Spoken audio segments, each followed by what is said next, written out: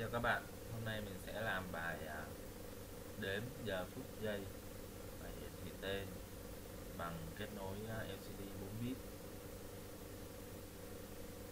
Sử dụng à, bit 16F 887